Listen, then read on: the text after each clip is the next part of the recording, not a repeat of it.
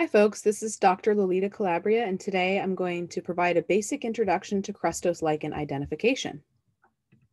Let's begin with some basic definitions. Crustose lichens are those lichens that are tightly attached to the substrates on which they grow, whether it be bark, wood, soil, rock, or man-made substrates like metal or uh, wooden fence posts or cars. Lichens can pretty much grow anywhere. So the ones that are really tightly attached to the substrates are the crust lichens.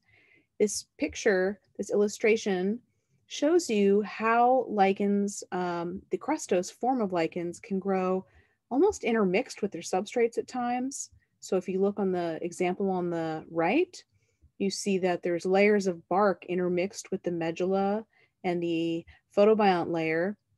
Um, so some crustose lichens have a thallus structure that consists of an upper cortex, like you see here, the photobiont layer and the medulla, but typically there's no lower, lower cortex. And some lack an upper cortex altogether, and some of them can be considered what we call leprose lichens, which are composed entirely of powdery granules. And so we'll learn about these different names that we can use to describe the general form of lichens the crustose variety. Okay. So I wanted to turn your attention back to something that we discussed in fall quarter of Fungal Kingdom, which is the Ways of Enlichenment website and the Morphogroup Index, which is a really nice way of organizing lichens based on their growth forms. And here we can see the category of crusts broken up as pimples, scripts, buttons, and dust. So I just wanted to remind you that there's great photographs here um, to help you as you're learning to identify crusts. So this is the pimples. These are chlorolichens. That's lichens that have a green algal photobiont partner with pimple-shaped perithecia. And I'll introduce this idea of perithecia. You learned about this again in fall quarter when we learned about lichen reproduction, but this is just one form of sexual reproduction structures um, that lichens can have. Okay, then there's the crusts buttons, and these are chlorolichens with round apothecia. You can see a variety of forms here. The dusts.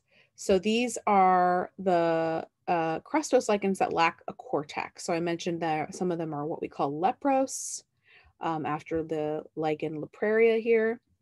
And um, these lichens rarely, if ever, go through sexual reproduction. And so they're primarily reproducing asexually. Um, and so they don't have to produce apothecia or perithecia. Then we have the scales. These are chlorolichens and cyanolichens consisting of numerous tiny short fish scales. So they kind of look like shingles or scales. Here you can see a Psoroma.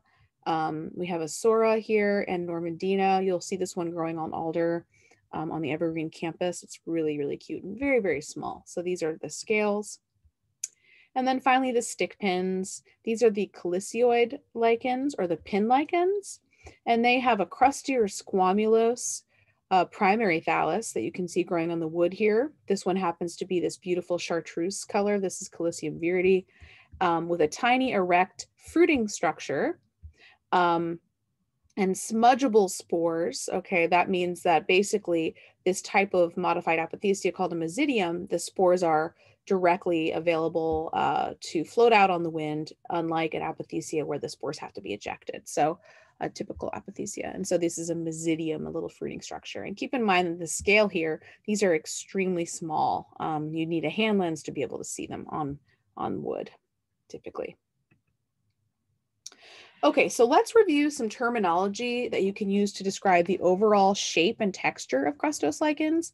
And I want to remind you that if you were able to purchase Bruce McCune's Microlichens of the Pacific Northwest keys, um, this is a great resource. And in the first volume, there's a wonderful illustrated glossary with all of these terms. And so I encourage you to use that.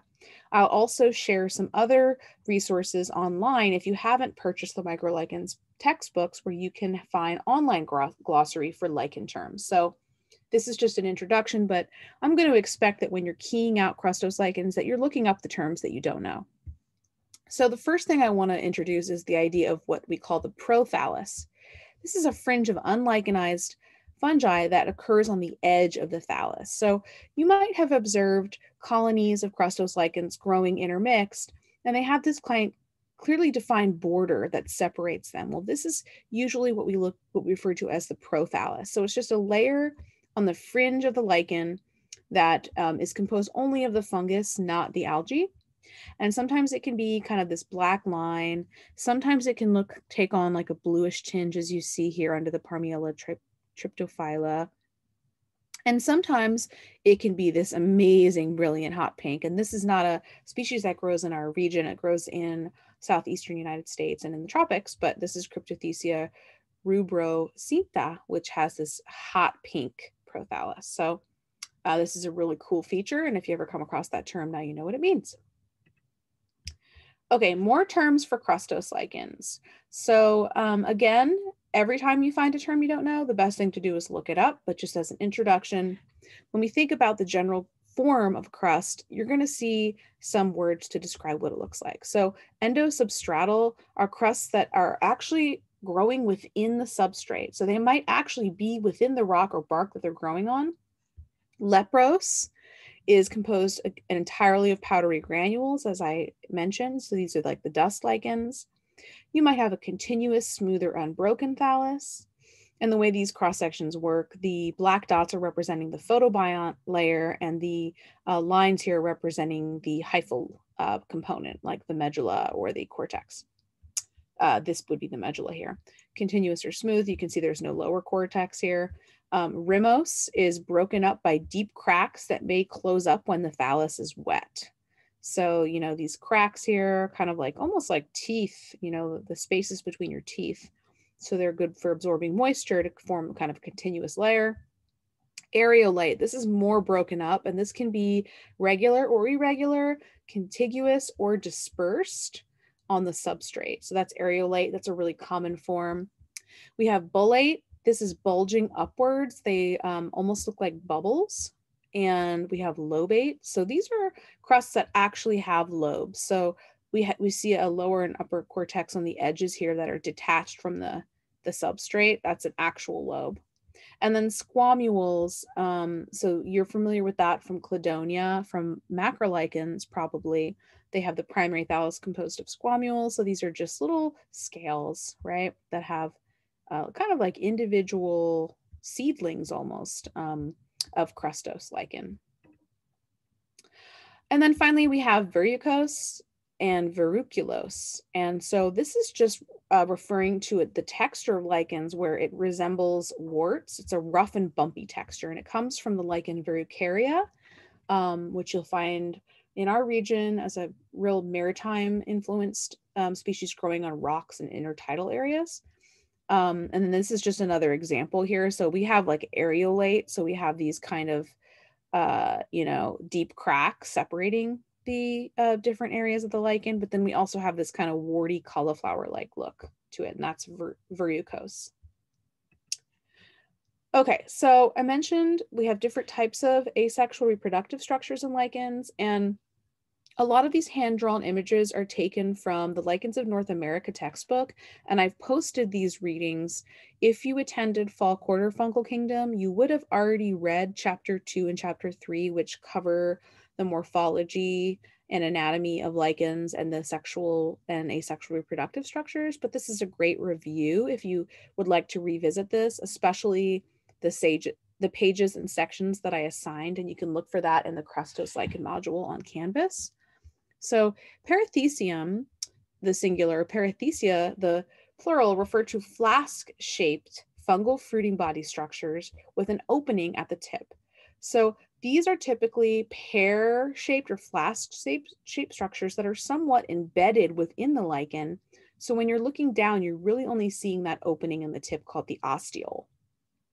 And then inside, you'll have the hymenium and the as asci with the ascospores inside. And so we'll look at the anatomy of an apothecia. This is just a different kind of fruiting structure called a perithecia. And in terms of lichens that um, I'm familiar with, I think there's more lichens with apothecia um, that I uh, am aware of, but perithecia are also something that you're going to want to know because you're going to come across these in crustose lichens. Now, this isn't to be confused with pycnidium, which are structures that produce conidium or conidia, plural. And these are asexual reproductive structures. Um, and these are produced on some lichens that you'll encounter, but they have this same flask-like shape. So that's an important distinction is to just know that these are not sexual structures. They just have a similar shape. Okay, so types of apothecia. So I'm not going to go through the definitions of like the technicalities on all of these, but this is just some examples. As you're keying out lichens, you might come across some of these words. So I'll say them all for you so that you can get used to hearing them. So we have lecideine, lecanorine, arthonioid, gyrose, or yeah, gyrose, lirale, mazaedium, pertusarioid, double-walled, and apothecia raised and apodecia. So you're used to this with cladonia. But a lot of these refer to crustose lichen apothecia. So sometimes they don't have a thalline margin. So, you know, the thallus is here, but this one doesn't have the thalline margin. But the lecanorine does. It has this margin of thallus surrounding it. Um, there's all kinds of, you know, definitions, and you can look them up in your glossaries. But the important thing is that we kind of get to, you're going to have to cross section these and look at the structures and the composition of both the apothecia the and the ascospores. So that's kind of what I want to cover today. So if we look at the cross section of kind of a typical uh, apothecia, this is one that has a thalline margin on it. All of them will kind of be composed of these different tissues. And this is what I want you to be familiar with because you're going to be learning about these terms as you use the keys. So the epithecium is the layer above the asci, consisting of the tips of the paraphyses embedded in gelatinous matrix, okay? So sometimes this can be pigmented. So when you are looking down at the disc of the apothecia, you might observe that it has a color. Well, that color is embedded in the epithecium. Then you have the hymenium. Now, this is the real kind of meat and potatoes of the apothecia. This is where it's all happening. This is where you find the asci that have the ascospores inside of them. And you also have the paraphyses. And this is just sterile tissue that grows in between the fertile tissue of the asci. So I'll show you some real actual photographs of the hymenium, but this is like the money layer. This is like where all the sexual reproduction business is occurring. Then we have the hypothecium. This is the tissue below the hymenium that supports it. And um, this might have some characteristics that you need to look at. Sometimes it can be pigmented. And then you have the exciple. The exciple is the tissue forming underside the rim of the apothecia. So the exciple can extend kind of around the edges in some apothecia all the way up here, or it can just kind of be below, just depending on what kind of apothecia it is, you know, looking back at this, right? So the exciple might be all around it, or it might not. Okay, then we have the thallus that you're used to looking at with the photobiont layer, the medulla, and in this case, this, this particular crust has a lower cortex. Okay, so this is showing you a cross section of an apothecia. So maybe this is a like a foliose and it could be, right? Okay. Okay, so apothecia in section. And again, these images are in your lichens of North America chapters. So check it out there. I think it's chapter three.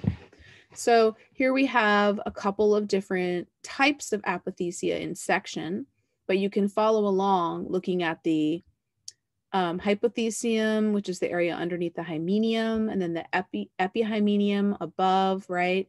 And then the exciple, you have the inner and the outer. Sometimes the exciple can be carbon, carbonaceous, meaning blackened or colored.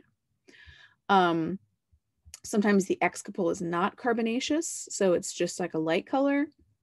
You have these are representing the photobiont cells. So in some apothecia, the photobiont do not extend into the exciple, where in other uh, apothecia, they do. And this is why you need to learn how to cross section an apothecia, because part of the key might say, are the algae present in the exciple, right? So there's actually like a margin here that contains photobiont, cortex, you know, all of that. And um, it looks like the way they're describing it here, it's like this is the exciple kind of underneath that. And then this is like the thalline margin, right? Where you have like these layers, whereas this is exciple without a thalline margin. So that that that could be an important distinction. In this one on the right, you have thallus being really distinct from the exciple layer, almost pulled away from it. So that tells me that like the thalline margin is distinct from the exciple and here it's just a little bit more of a, a, um, a smoother transition between the two areas. Um, and then this one doesn't have algae in it, but this one does. So these are just subtle differences that you're going to be looking for. This would be what like a lirellate apothecia. So in a graphis, um, like an elongated tunnel kind of thing where you have the disc in here, right? And then the exciple kind of wrapping around. Okay, and then this is showing another kind. I can't remember right now what this type is called. I have to look back at the um, legend for this figure, but you can see the um, asci here arranged and the, um, the paraphyses is, is kind of this tissue surrounding it all around. So this is just some different views that you might find when you section it into an apothecia. Okay, and then so I just want to point this out. So within the hymenium, I said there's the asci and the paraphyses. So the asci is what we're going to be looking at now. These are the spore containing cells. And so these are going to all be lined up in the hymenium. And this is just showing you different ways it could look. So you could have, um, typically they have um, eight would be like a number that I would expect, like eight spores. Okay. So like here's an asci with eight spores. One, two, three, four, five, six, seven, eight. And these spores um, have a bunch of different, you know, septa in them. So it looks like they're like all divided up. Sometimes you can have spores that are simple like this, but sometimes you can have tiny spores that are like a lot of spores inside of an, one asci. Sometimes they can be more round shaped, sometimes they're elongated, but typically I would say like you're going to see something like this you know, or something like this, okay? And so this is a great way to view spores if you can see them in the asci. Sometimes they can be ejected out. And then this is the ascus wall. Um, and this is this part called the tholus, not to be confused with the phallus. Um, and so basically what this is showing you is that the tip of the ascus can have different characters too that you need to look at. So these are like the little helmets or the lids that are on top of the asci. So just note that there might be characteristics that you need to look at there as well. Okay, next is the actual spore. So within the asci, you have spores and those spores can look different as well. So you have like three layers. You have the apothecia, which has characteristics, the asci, and now the ascospore. So this is getting more and more um, micro in the view we're taking. And there's going to be all kinds of shapes. So here's a simple ellipsoid. Here's two-celled. Here's polarilocular. So like there's a little like chambers that are kind of polarized within a cell. They could be needle shaped with multiple septa, fusiform. So that was like this one here kind of. Um, oh, no, no, actually, this is more of a muriform cell. So if you look at this, it's got all these little chambers septate. So the septa are really thick here. And then some simple spores can have this halo around them. So that's something um, to look for as well. So I have a video that I made that um, reviews different techniques for sectioning and apothecia. And this is just a little drawing of how that might be done. And so these little slivers are what you're going to put on your slides with a drop of water and sometimes with KOH in order to visualize the asci and the spores. So please do review that video and just know that there's a section in the Lichens of North America, chapter 13 that I've assigned that also uh, reviews this in a written way. So that's a good thing for you to look at as well. Okay, and then just to finish up, we have a few images of some common um, well, this one, Mycoblastus sanguinarius, is a common lichen in our area, and it's distinct in that um, it has a blood red hypothecium. So if you cross section through it, even with your naked eye in the field, you can see this red layer directly underneath the hymenium. And so under the microscope, you basically see red. And then here's the hymenium. The hymenium has asci with ascospores inside. So here's a spore. And then the paraphyses are just like the tissue that grows in between the um, asci. So this is just like giving you some real life things to look at. Okay, just to give you a couple more views. So like here is Lirale apothecia of Graphis. So they're like these little lines that look like pencil marks on the bark. And if you sliced in a cross section, this is what it would look like. And then it looks like, you know, the asci are all kind of scrunched up into this little area here. And so this is like an asci containing multiple ascospores that are multiseptate.